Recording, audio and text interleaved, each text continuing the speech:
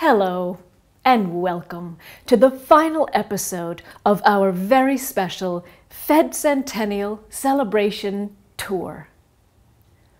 What else can I show you in the little time that remains? This is quite obviously a device used to promote cardiovascular fitness. It's also used on occasion to perform stress tests to ensure that a particular entity or body is vigorous enough to withstand potentially adverse conditions. Some of you have asked to see the printing presses before we go.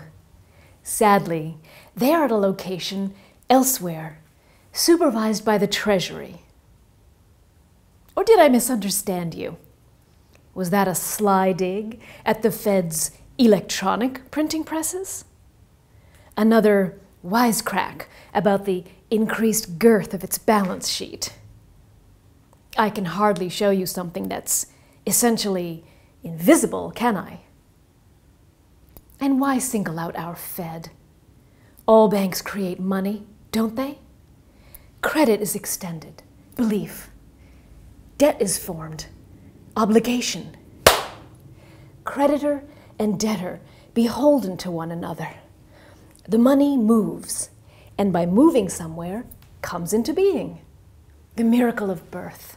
One day, something doesn't even exist and is therefore doing nothing. And the next day, it does exist and can do things. For example, it can be used to influence matter, such as objects, substances, and beings, causing them to change locations or to be arranged in various configurations, resulting in a new thing, such as a product, a service, or a dwelling. Or it can become part of an instrument, a financial instrument, influencing other instruments. We're almost out of time. Walk with me, won't you? I'll see you out. But do watch your step. Unfortunately, someone has been defecating down here after hours, unobserved. Apparently, there's no restroom on this level, which could be an excuse, but is hardly a reason. There is a difference.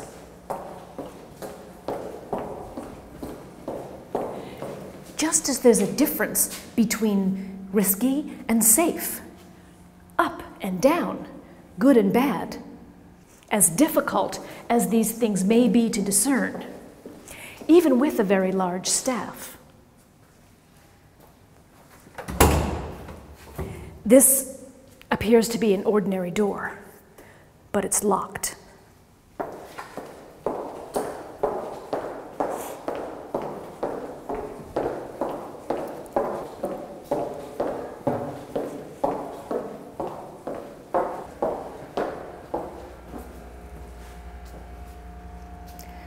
While the Fed doesn't physically produce our currency, it does oversee quality control. A bill of any denomination can wear out with constant handling, becoming tattered, torn, filthy, at which point it's destroyed.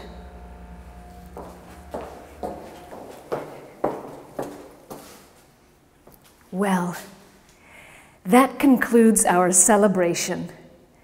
Thank you so much for being with me as we wish this extraordinary institution a very happy, very healthy 100th birthday. I hate to say goodbye.